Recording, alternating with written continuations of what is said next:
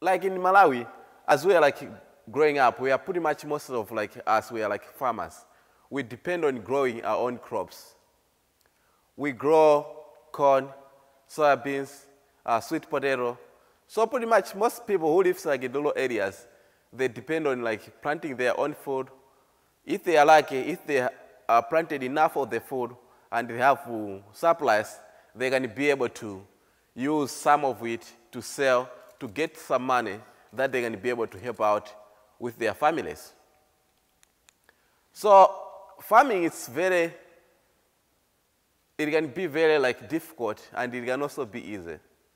There are a number of things that making farming really like difficult to many people in rural areas. So in 2000 and the 2000, 2000 to 2001 growing season, one of this problem, a lot of people like experienced it. There was drought in the country.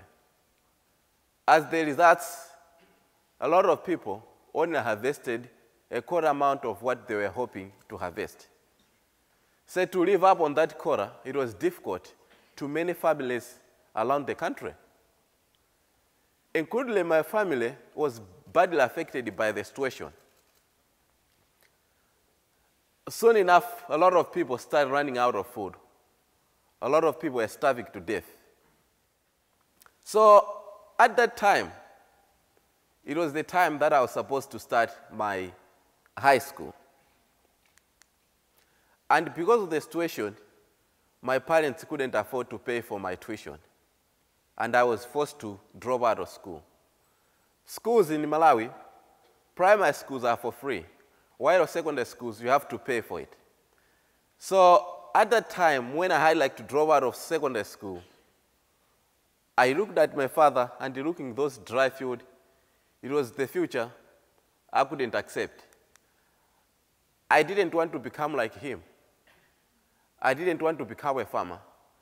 It's not that I didn't want to become a farmer because I hate farming, no. I love farming. But I didn't want to become a farmer just because that's the only thing that I can do with my life, which is the case to many people in my community.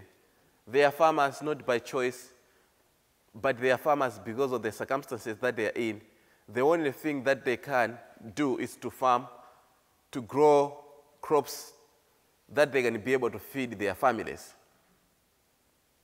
So for me, I wanted to live the life where I can be able to do anything at any time that will be benefit, benefiting uh, my family and also helping me to do uh, anything that I need like, uh, to do.